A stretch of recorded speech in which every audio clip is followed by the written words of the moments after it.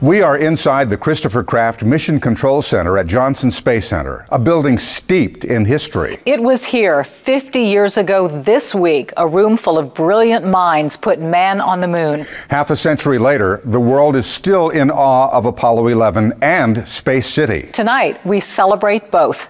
Griffin, uh, Tranquility Base here. The Eagle has landed. That's one small step for man, one giant leap for mankind. We've got the flag up now, and you can see the stars and stripes on the lunar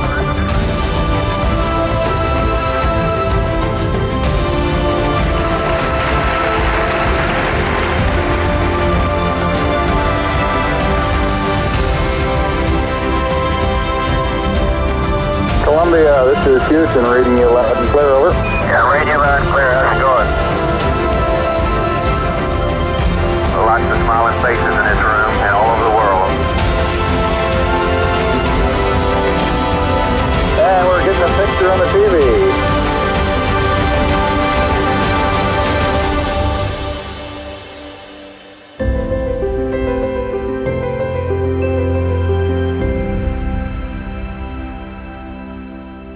The first lunar landing, July 20th, 1969. Truly a pivotal moment, not just in space history, but the history of the world. And how it happened, what led up to it, is all part of the story, starting with a space race that Americans were desperate to win. Throughout the world, throngs of people hailed the end of the war in Europe. Now the war against Germany is won. When World War II ended, another major conflict began. The Cold War, a decades long power struggle between the United States and Russia, two superpowers vying for superiority. But this clash of titans would not play out on a battlefield. This combat was cerebral, each country laser focused on rocket technology. The Cold War and the rocket rivalry would become the backdrop for the space race. Russia claimed the first victories with Sputnik and the first human in orbit. Russia's success. Potential enemy temporarily ahead. Then President John F. Kennedy threw down the gauntlet. First, before a joint session of Congress, I believe that this nation should commit itself to achieving the goal before this decade is out of landing a man on the moon and returning him safely to the earth. and then with an electrifying speech at Rice University. We choose to go to the moon in this decade and do the other things, not because they are easy, but because they are hard. A vision that took hold on a patch of land off 45 South, NASA's Manned Spacecraft Center. The Mercury and Gemini projects Gemini 12, Houston, Capcom. set the stage for Apollo, a program that saw successes and setbacks. Before any Apollo missions flew, the U.S. would experience its first space disaster. Three astronauts killed in a flash fire during a launch rehearsal test. Gus Grissom, Ed White, and Roger Chaffee, forever remembered as the heroes of Apollo 1.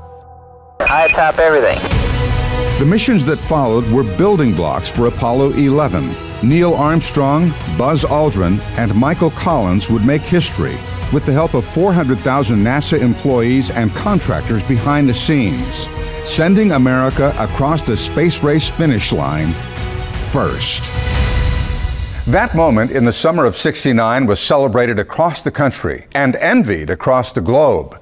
But there was one part of the world that experienced it like no other. Houston's space community, Clear Lake, El Lago, Nassau Bay, Timber Cove, all were called home by astronauts, flight directors, and mission control employees.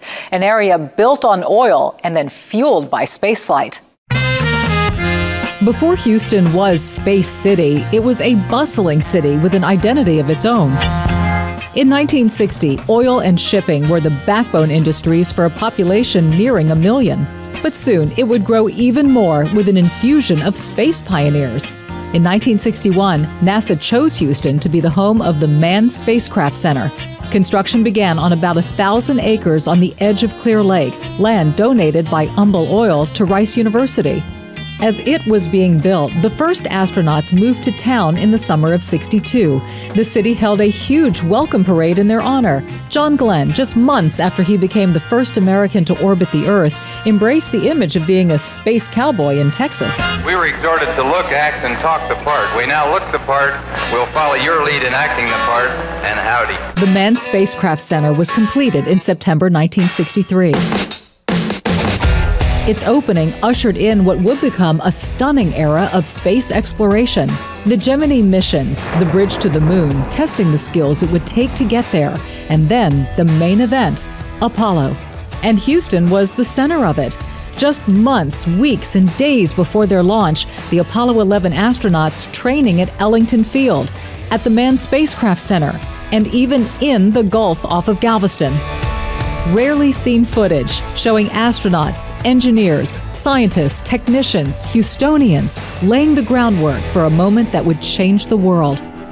But to truly understand Houston's role in that milestone on the moon, we must know, see, and feel what life was like leading up to it. The story of Space City and how it came to be is really, I think, one of the great stories of Texas history. How a, how a southeast Texas cattle ranch became a virtual trailhead to space. Born out of a country's celestial crusade, a unique community that had never happened before or since. Entire neighborhoods filled with space workers. We thought everyone knew an astronaut.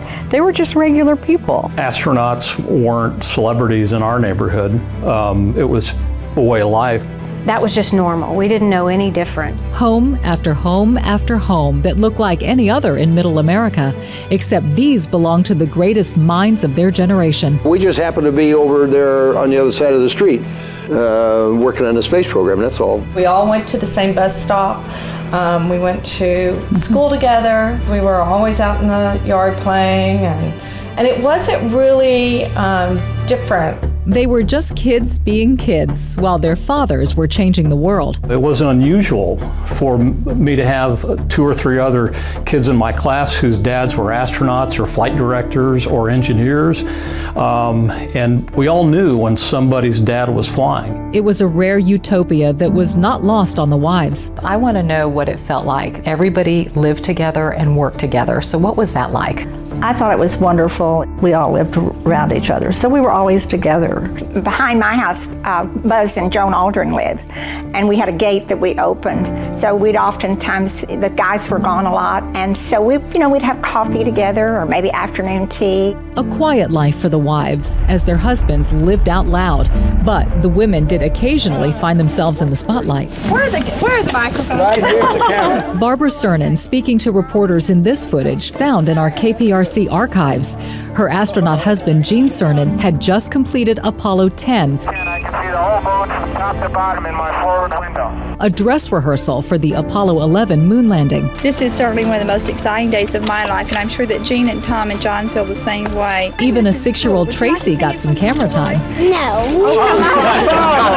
I do look at the moon totally different. And as I'm older, I really look at it. It's very special to me and appreciate the fact that Daddy was there. And, and uh, he always explained how beautiful it is and, and how he always felt like he was sitting on God's front porch looking back at the earth.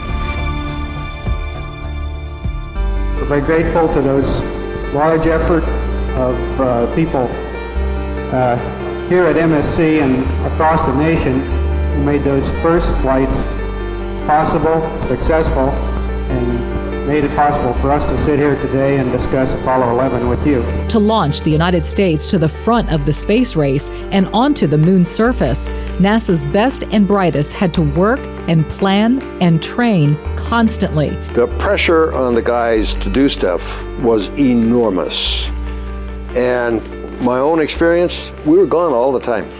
All the time. I'd leave on Sunday night, come back on Friday night. Which meant sometimes the wives had to be mothers and fathers. They served as den mothers in Cub Scouts and troop leaders for Girl Scouts. I've heard Barbara Cernan say, you think going to the moon was hard, you should have tried staying home. You learn to do everything. You learn to mow the grass, you learn to pay the bills, um, keep the house together, do everything. And um, it, it just, I mean, it wasn't that it was so difficult, it was just, it became part of your life. I didn't resent it at all because I was doing my part. I, I felt like I was doing what I was supposed to do to make everything work. Looking back at all that film and all the accolades that the guys got, I just thought to myself, I can't believe I was really a part of that. So now that you know how they lived, where were they as NASA reached that culminating achievement, putting man on the moon? I was in my living room with other people, and it was, uh, I mean, you just, you were so proud as an American to know that we had actually accomplished what we'd set out to do. When they picked him up at the ship, that's when we had the champagne. and I do recall, y'all made us get out of the pool to come watch landing on the moon, and then we're like, okay, okay, can we go back in? Yeah, exactly. You know, can we go back swimming? You know. Still ahead, a visit to an old Apollo neighborhood yields a surprising find. It says Neil and Jan Armstrong, 1968. Never before seen footage of the man who would become the first to walk on the moon. But first, the heroes of Mission Control. We're very proud of the work we did, and as a team, we hung tough. How a room full of space prodigies made history one harrowing step at a time.